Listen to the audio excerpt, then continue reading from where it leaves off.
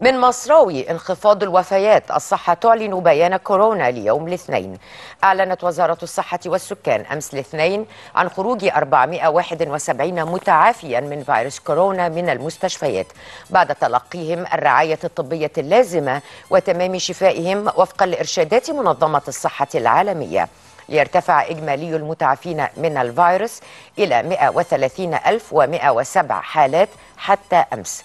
وأوضحت الوزارة أنه تم تسجيل 541 حالة جديدة ثبتت إيجابية تحاليلها معمليا للفيروس. وذلك ضمن إجراءات الترصد والتقصي والفحوصات اللازمة التي تجريها الوزارة وفقا لإرشادات منظمة الصحة العالمية لافتة إلى وفاة 44 حالة جديدة.